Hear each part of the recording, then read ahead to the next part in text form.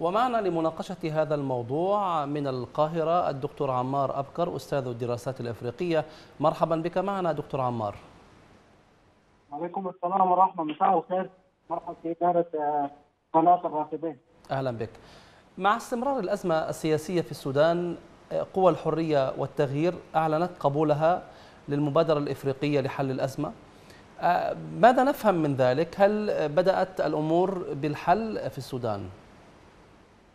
آه بسم الله الرحمن الرحيم. دعنا دعني في الأول أن أترحم إلى شهداء آه الثورة السودانية آه جميعهم.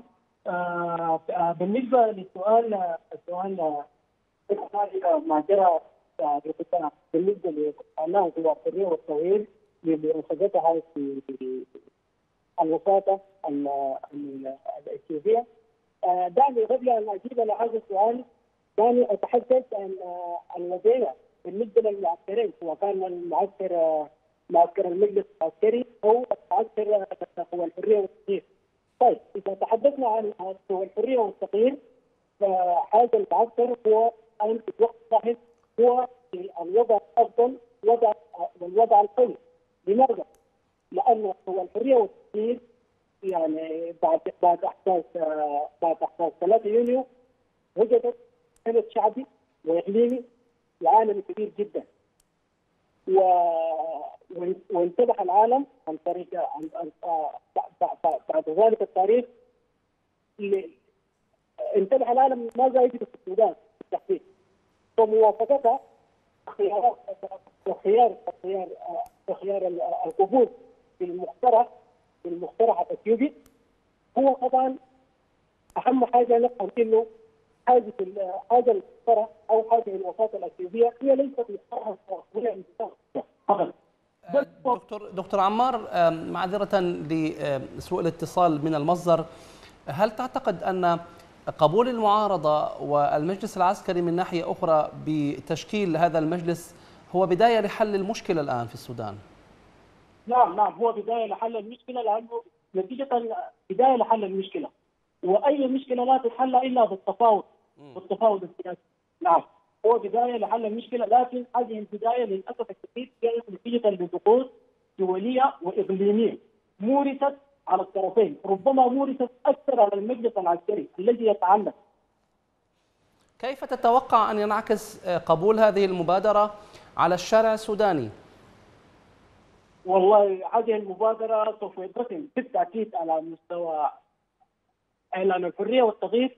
أنا على تأكيد أن الشارع السوداني الذي يقضي الآن سوف سوف ينقسم إلى قسمين.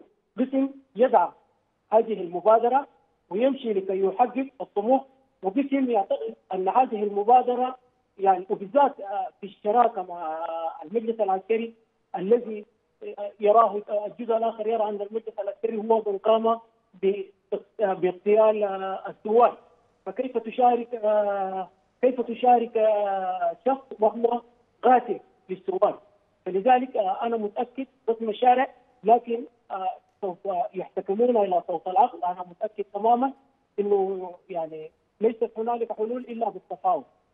سوف يقتنع يعني القسم الآخر الذي في البداية يرفض لكن مع مرور الوقت إن شاء الله يوافق يعني.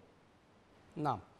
صحف غربية حملت نائب رئيس المجلس العسكري مسؤولية ما حصل في فض الاعتصام هل نتوقع محاسبة المتورطين في الاعتداء على المواطنين؟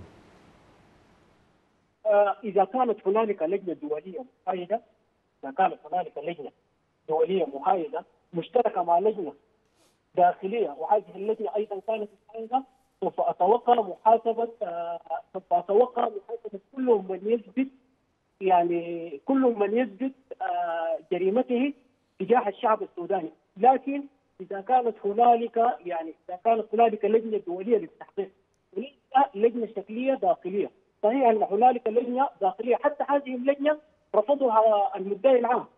وبالتالي اضطر المجلس العسكري لكي يغير هذا النائب العام لأنه لم يقتنع باللجنة التي كونها العسكر وقال هذه لجنة عسكرية وليس لجنة قانونية. أشكرك استمر أشكرك دكتور عمار أبكر أستاذ الدراسات الإفريقية كنت معنا من القاهرة.